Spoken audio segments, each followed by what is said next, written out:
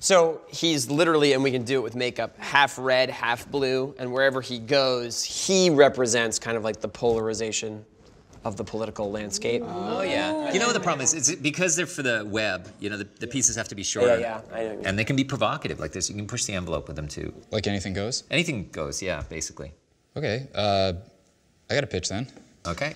So, this moves into town, right? Super totally.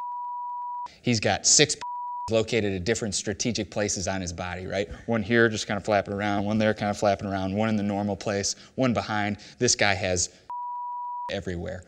Everyone in the neighborhood because he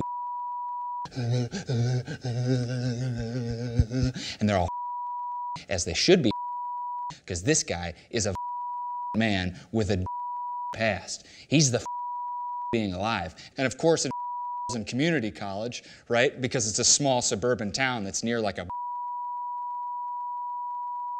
They're probably putting up a production of Teenage Mutant Ninja People. This is a smart man. He is a smart man. And he gets on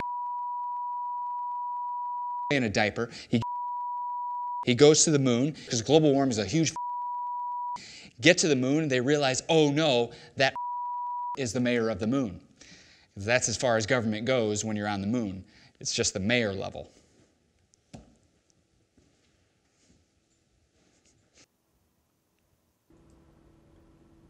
I mean, I think it's that's a lot, especially if you include the school kids in that. I think yeah, I think including the kids. Um...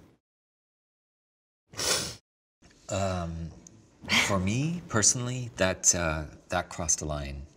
Yeah, if there was like a dream book for pitches, and you looked up some of the stuff you were saying, it would probably speak highly to like maybe a sociopathic uh, tendency or something. Okay, not the first time I've heard that.